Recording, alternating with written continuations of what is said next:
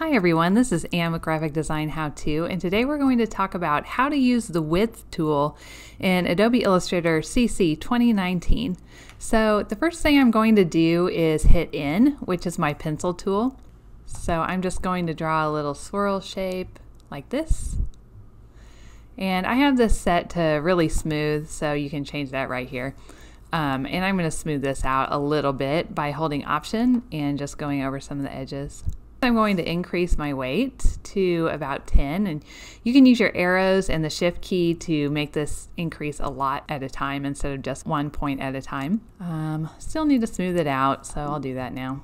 Alright so I'm going to zoom in with my Z tool and hit shift W and that'll bring us to the width tool which is right over here. If you're on an end cap you want to make sure that when you hover you're on the anchor point because if you get right next to it, you're going to get some weird results like this. I'm going to undo. So make sure you're right on that anchor point and then you can come out here and just pull this in. And I'm going to round the cap so it looks a little nicer.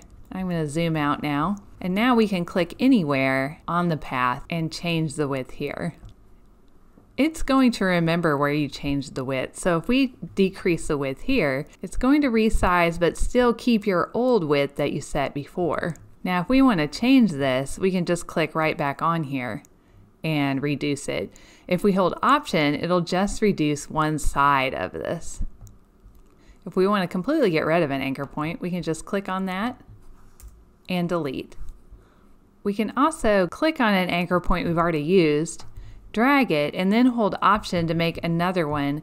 And this will help to maintain that width further on down the line. So this width is the same and this width is the same.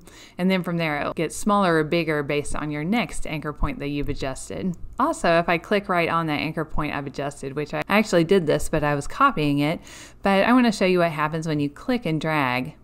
It'll just move that width to a different part of the path. Now I'm going to make some drastic changes to this to show you in this next part. We'll click this and make it really big and then one right here we'll make it really small. And we'll just change this side a little bit. Illustrator makes it easy for us to save this stroke profile. So if you double click on the word stroke in your palette a few times, you will see this profile here, and it's also up here at the top if you have your control open. That's window control. Anyway, if you have this highlighted, you can click this profile button, go all the way to the bottom, and then click this add to profiles button. It'll ask you to name it, and then it'll save it right there in your profile.